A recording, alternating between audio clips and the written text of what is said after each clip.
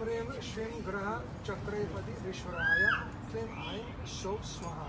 That's Saturn. And uh, especially amongst uh, those who follow Vedic astrology and Hindus and so on, they're very fearful of Shani. You know, people like that, a little afraid when Shani comes into their life.